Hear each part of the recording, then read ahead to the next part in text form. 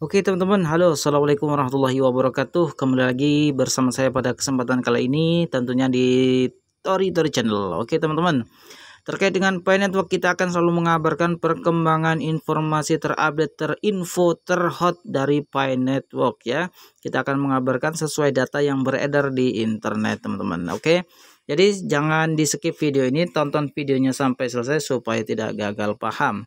Yang belum subscribe silahkan subscribe, tekan lonceng notifikasinya supaya teman-teman mendapatkan info terbaru, terupdate, terhot, dan terbaru dari Pi Network. Kalau sudah kita lanjut. Baik teman-teman, terkait dengan Pi Network ya, eh, kita akan bicara sesuai data. Di sini beredar bahwa Pi Network dinilai sebagai jaringan kripto terbesar keempat di dunia setelah Coinbase, Binance, dan Crypto.com. Oke, kita akan simak videonya. Kita akan kulas bersama Twitter channel ini, teman-teman ya. Baik, bisa kita lihat dari data-data di sini ya. Sebelum kita sampai pada peringkat platform penambangan dan perdagangan mata uang digital, kita juga harus tahu bahwa perusahaan-perusahaan ini juga menyediakan dompet digital yang tanpanya tidak akan ada media pertukaran. Jadi apa itu dompet digital? E, dompet digital atau disebut e-wallet adalah layanan elektronik atau biasanya online atau aplikasi perangkat lunak yang memungkinkan satu pihak melakukan pertukaran elektronik dengan pihak lain yang hanya berurusan e, dengan unit digital atau mata uang kripto untuk barang dan jasa teman-teman ya. Nah, perbedaan antara digital dan cryptocurrency. Nah, Investopedia mendefinisikan mata uang digital dengan cara ini. Yang pertama, mata uang digital adalah bentuk mata uang yang hanya tersedia dalam bentuk digital atau elektronik. Disebut juga uang digital, uang elektronik, mata uang elektronik atau e, cybercrash gitu ya. Kemudian, cryptocurrency adalah mata uang digital yang merupakan jenis pembayaran alternatif yang dilakukan dengan memanfaatkan teknologi enskripsi ya. Kemudian pemanfaatan inovasi enkripsi mengisyaratkan bahwa bentuk mata uang digital berfungsi baik e, sebagai uang tunai maupun sebagai kerangka kerja akuntansi virtual gitu ya. Untuk memanfaatkan bentuk kriptografi mata uang, Anda benar-benar perlu mendapatkan dompet mata uang digital. Oke. Data apa yang kami pertimbangkan dalam melakukan penilaian kami? Kemudian kami mempertimbangkan banyak hal sebelum sampai pada data yang kemudian kami publikasikan di portal berita kami. Beberapa data tersebut adalah satu jumlah pengguna platform ya. Kemudian yang kedua di mana jumlah penggunanya sama dengan perusahaan lain. Kemudian kita pertimbangkan jumlah follower media sosial khususnya Twitter. Yang ketiga jumlah negara yang dicakup. Kemudian yang keempat yaitu adalah volume transaksi tahunan. Nah, di sinilah kita akan bahas tentang 10 platform atau uh, jaringan digital atau kripto teratas tahun ini yaitu tahun 2022 teman-teman ya. Baik yang pertama adalah Coinbase itu 103 juta pengguna. Coinbase ini adalah aplikasi yang memungkinkan Anda membeli dan menjual semua jenis mata uang kripto seperti Bitcoin, Ethereum, Litecoin dan sekitar 50 lainnya. Anda juga dapat menggunakan Coinbase untuk mengonversi satu cryptocurrency ke cryptocurrency lainnya atau untuk mengirim dan menerima cryptocurrency ke eh, ke dan orang lain gitu ya. Kemudian sekitar 103 juta pengguna terverifikasi, 14.500 institusi dan 245.000 mitra ekosistem di lebih dari 100 negara mempercayai Coinbase untuk berinvestasi membelanjakan, menyimpan, menghasilkan, dan menggunakan kripto dengan mudah dan aman. Pengikut di platform media sosial di Twitter itu 5,3 juta pengikut, Facebook 366 ribu yang disukai, kemudian Instagram 400 eh, ribu pengikut ya. Kemudian yang kedua yaitu ada namanya Binance ya, yaitu 90 juta pengguna.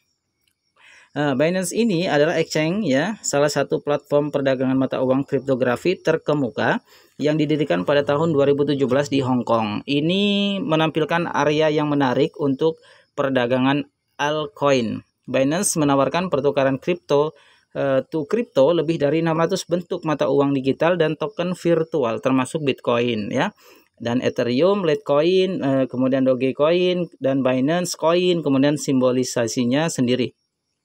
Kemudian Binance adalah pertukaran kripto terbesar di dunia berdasarkan volume perdagangan dengan volume perdagangan harian 75 mil 76 miliar dolar dan 90 juta pelanggan di seluruh dunia ya. Itu dia.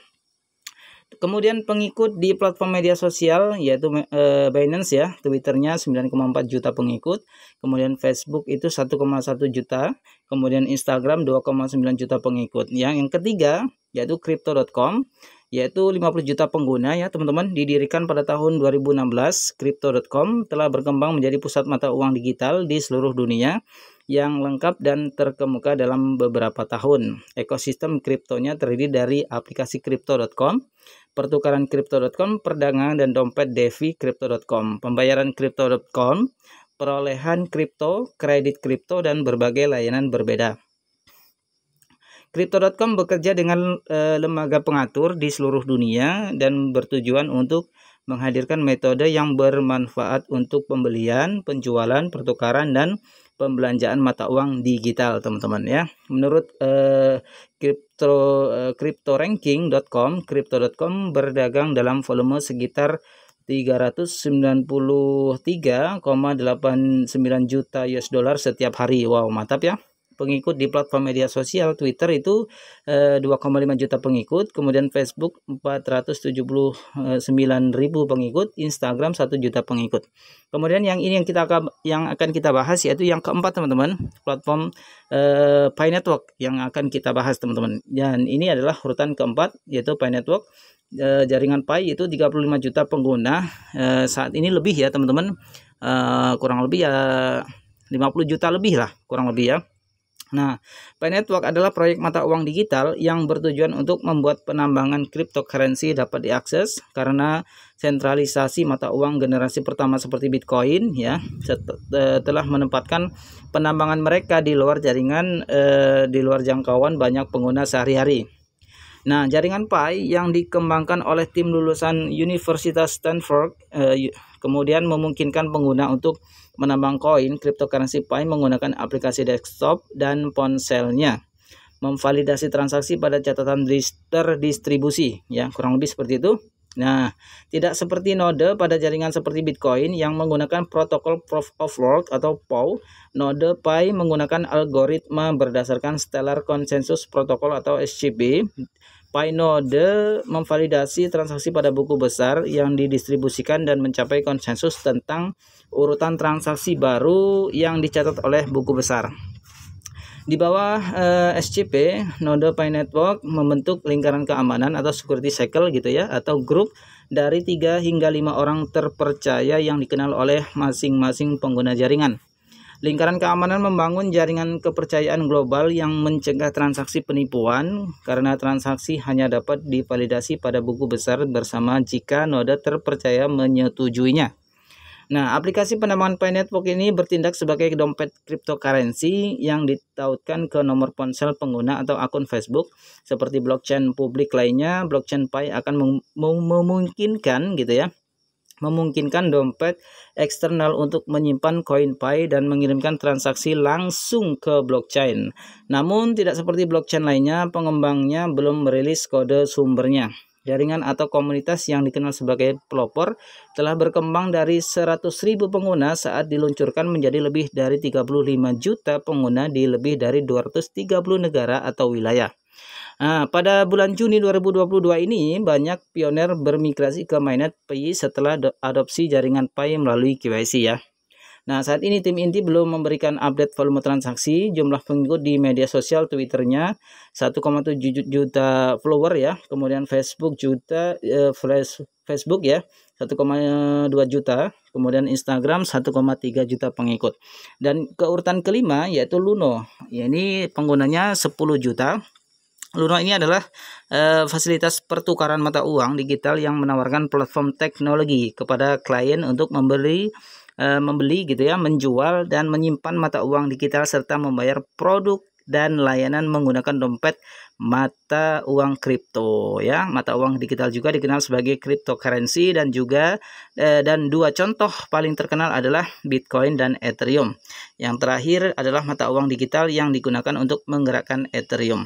Kemudian uh, ada ke, ke urutan ke-6 ya. Mohon maaf, ada urutan ke-6 yaitu koin uh, DCX ya atau di sini penggunanya 10 juta ya. Dan yang ke-7 yaitu ada Bibit ya, 6 juta pengguna. Dan yang ke-8 ada Prim Prime XBT atau di sini penggunanya 6 juta ya teman-teman. Kemudian yang ke-9 itu ada Busa ya, 200.000 pengguna dan yang ke-10 ada Swifin, penggunanya adalah 2 juta. Nah, di sini teman-teman bisa kita lihat dari data-data sesuai yang disampaikan dari berita newsway.com bahwa Pay Network di urutan keempat. Artinya nanti bisa jadi eh, Pay Network juga nanti akan melambung ya meroket di bisa jadi sesuai dengan penggunanya ya saat ini memang sudah mencapai peningkatan yang lebih eh, signifikan lebih tinggi dari jumlah yang tertulis di uh, berita ini. Jadi ini mantap sekali teman-teman bahwa Pi Network saat ini memang sudah di jaringan keempat ya urutannya dengan jumlah 35 juta pengguna lebih. Nah harapan kita memang uh, kita selalu pantau sesuai berita-berita yang beredar yaitu harapannya adalah Pi Network bisa menjadi nomor satu uh, di dunia itu dia teman-teman ya. Ini mantap sekali bahwa Finance Network sudah menjadi uh, trending topik pembicaraan di seluruh uh, Twitter, khususnya Twitter cryptocurrency dan juga media-media uh, sosial yang lainnya. Ini mantap sekali teman-teman ya. Oke, jadi yakinlah Finance Network nanti akan menjadi, merajai uh, cryptocurrency di dunia. Itu dia yang paling penting teman-teman ya. Oke, terima kasih. Ini mungkin ini informasi penting yang bagi saya harus teruskan ke teman-teman juga dan semoga uh, video ini bisa mencerahkan pikiran kita bahwa Pi Network ini bukan sekedar koin-koin halu gitu ya. Oke.